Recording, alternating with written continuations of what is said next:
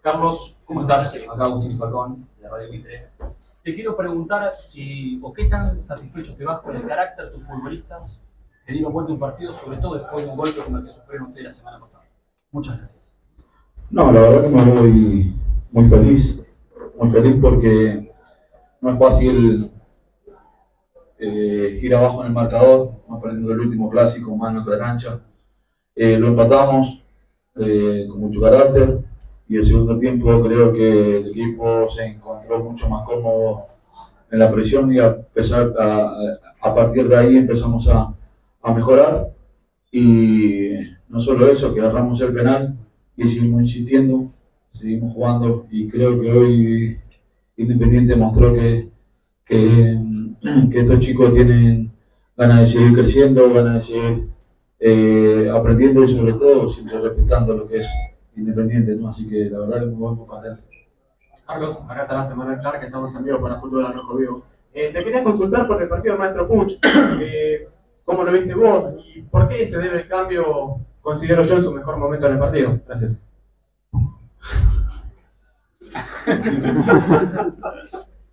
Siempre tienen algo, ¿eh?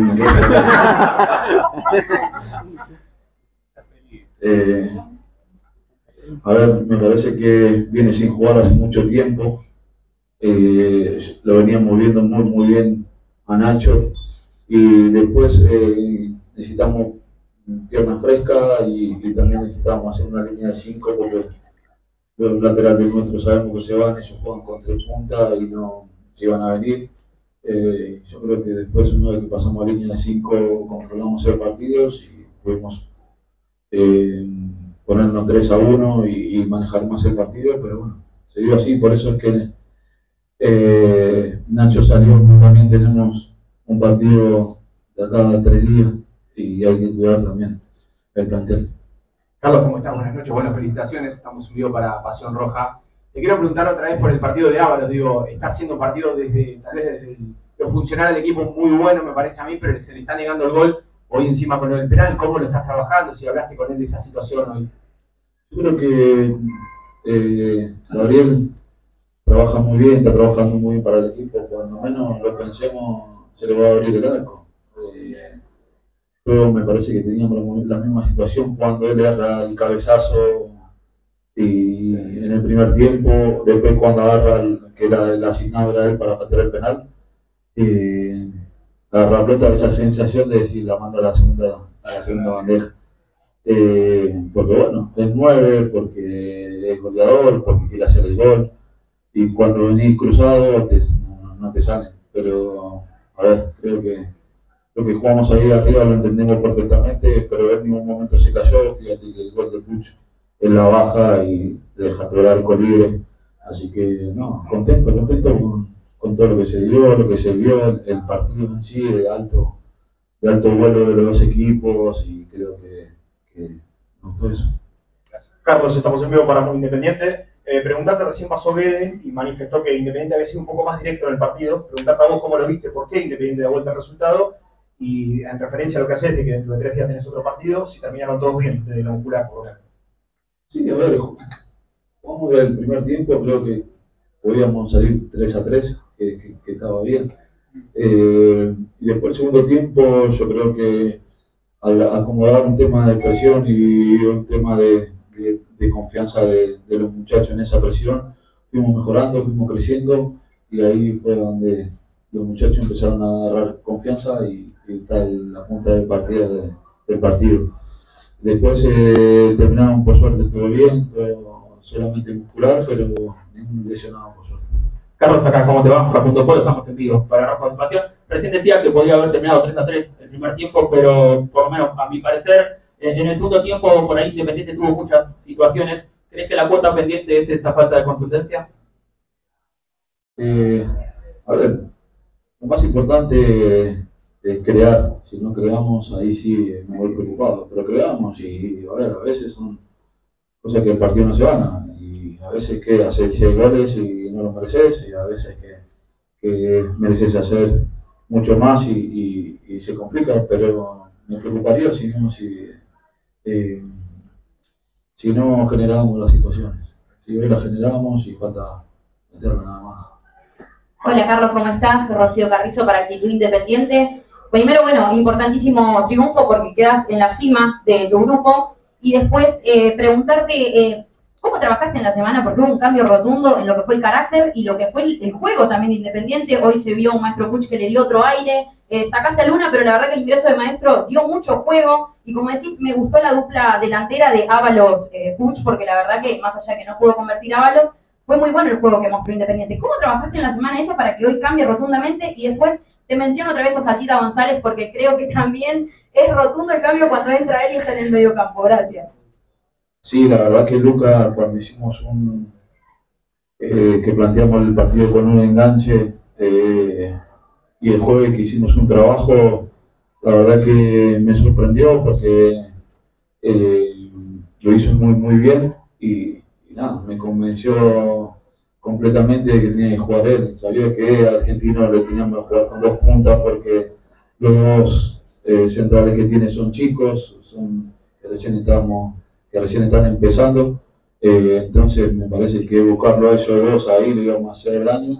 Es el partido que, que vimos. Después, como te digo, hay que empezar a, a, cuidar a los chicos porque tenemos partido en tres días, eh, otra vez con, con Barraca que, que, está peleando también allá arriba.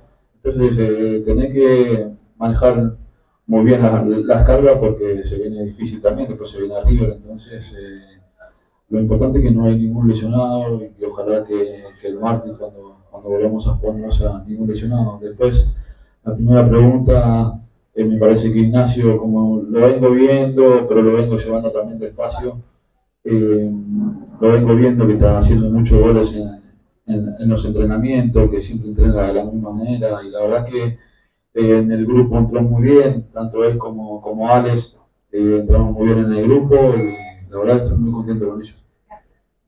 Carlos, buenas noches. Florencia Ligadula para Solo Rojo. Bueno, tal como me decía, pues, decía mi colega, muy importante estos tres puntos. Estás en la cima, ahora bueno, hay que esperar a River. Más allá de eso, te pregunto, con la pregunta de mi colega respecto a Gabriel Ábalos, ¿cómo se eh, levanta anímicamente a un jugador que es delantero, que todavía en ocho fechas no pudo meter un gol, porque obviamente él debe estar, quizás se debe sentir mal, cómo vos lo levantás o qué mensaje le das, como también exjugador de fútbol, y también es un jugador que está citado en su selección, en la selección eh, paraguaya. Eh, bueno, nada, ¿qué, mensaje le das? ¿Cómo lo levantás anímicamente al jugador?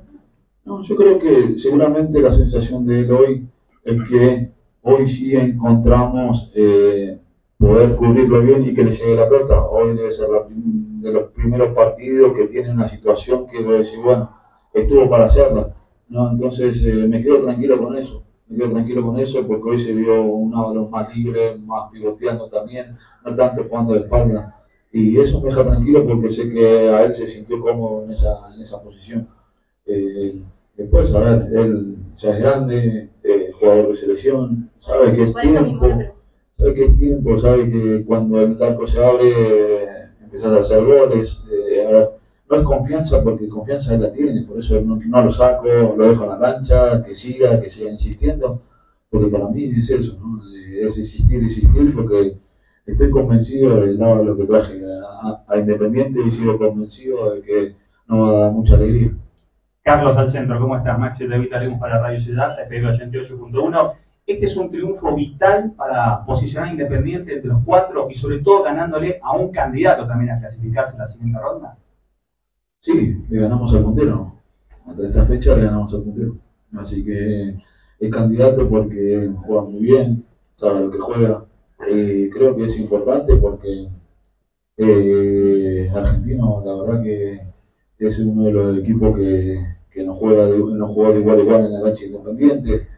Eh, y creo que, para mí es un partido muy, muy de, para mí de seis puntos porque ir perdiendo, después de perder el clásico, y perdiendo en la cancha independiente, lo que empezamos a conocer este mundo independiente, saber que no es fácil.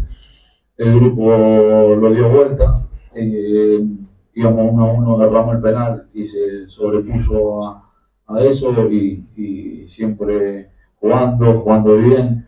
Y la verdad que es un partido donde se vio el, equipo que todos queremos.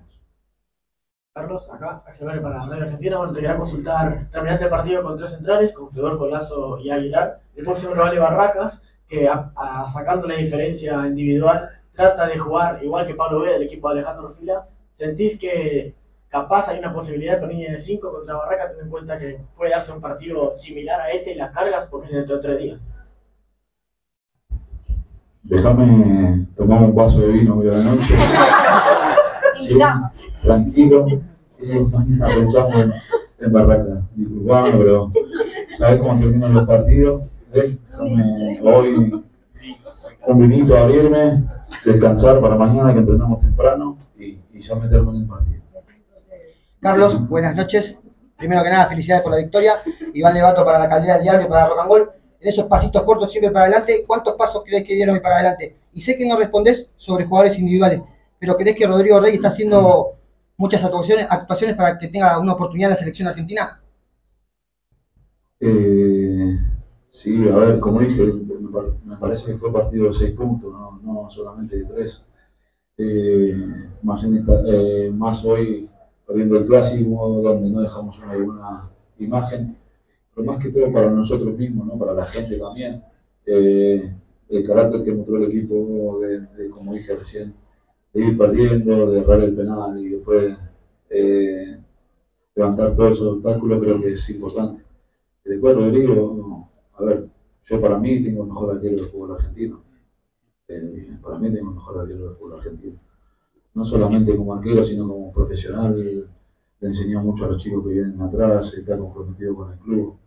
Es por eso que le estoy encima a los dirigentes que le, que daban el contrato hace seis meses atrás. Así que estoy porque creo que desde ahí empezamos a construir, desde Rodrigo, y estoy muy feliz con él. La verdad, estoy muy feliz. te salvo a partir, que lo que quiero de mi arquero. Carlos, acá, buenas noches. Quiero ir a los, a los nombres en sí. Si este 11 de hoy se asemeja un poco a, a ese equipo ideal que no sé, en algún momento de la pretemporada te habrás imaginado también que no está Canelo, que está lesionado. Y por otra parte, te, cambio de tema, si en la noche del Rey del próximo 23 de marzo tenés pensado jugar, volver a, ponerte una camiseta de fútbol o a dirigir el, alguno de los equipos. Eh, yo creo que el segundo tiempo, donde el equipo agarró un poco de confianza, empezó a demostrar lo que puede ser el equipo.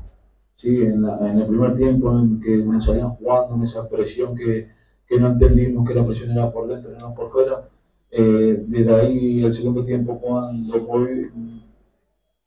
movimos la ficha y presionamos bien, el equipo empezó a agarrar confianza y ahí es donde me parece que hizo el club eh, el partido.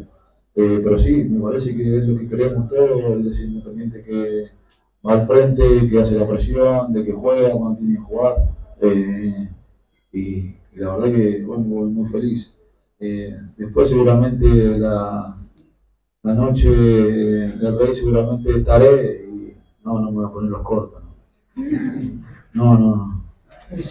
Soy técnico, no, no soy más jugador. Dejé de ser jugador ya hace, hace tiempo y siempre respetando a lo que son las la estrellas de, del rojo, ¿no? Bochini, el Kun, Milito, que vengan todos ellos y jueguen ellos y yo estaré seguramente la raya para afuera donde, donde quieran ponerme estaré apoyando siempre al club y, y de, la mejor manera, pero me parece que los, los, los reyes de, del fútbol tienen que jugar eso, no, no yo.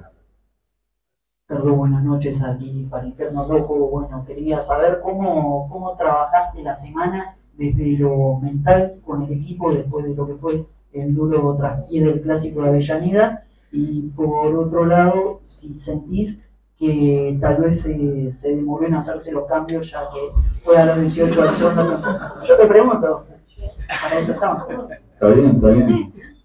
Eh, ¿Cuál fue la primera? Me quedé con la segunda. Lo psicológico del clásico de Avellaneda. Ah, con alegría, con alegría. Me parece que eh, nosotros volvimos a entrenar el lunes, el martes. El martes volvimos a entrenar y le agarré a los muchachos le dije, ¿qué hacemos? ¿Agarramos piña o, o seguimos para adelante? Porque me parece que es un punto donde si vos empezás a, a mirar y es todo mal, es todo malo porque perdiste el clásico, es lo normal cuando perdés. Eh, entonces le dije, muchachos, vamos con alegría, vamos a salir adelante, siempre convencidos de lo que estamos haciendo. Eh, y nada más, después los muchachos siguieron solo el camino, porque tengo la verdad que líderes que, que manejan muy bien el grupo. Y me parece que eso, siempre entregar con la alegría, ¿no? Demasiado quilombo tenemos para ir al trabajo con, con, con fastidio, con, con tristeza. Eh, me parece que los muchachos agarraron ese, ese mensaje y así construimos. Eh, ahí empezamos a construir, siempre para mejor. Y después los cambios, no sé, a mí me parecen de esa manera. Eh, si no, ir puntualmente por cada uno de los cambios. Y me parece que, no, no es por mí, pero parece que como que siempre me equivoco yo, ¿o me parece? No, ¿No? Yo por ahí sentí que lo- el clásico pasado se demoró un poco y bueno, hoy también. Y hay que ser justo, así como lo decimos en la derrota, hay que decir una victoria, ¿no? No, no, está bien, está bien, pero igual, siempre la digo yo, digamos. Sí, es bien, una cosa jerárquica, ¿no? No, está bien, no pasa nada. Vaya a tomar de su vino. Gracias a todos. Tenemos cositas de tienes acá, ¿viste?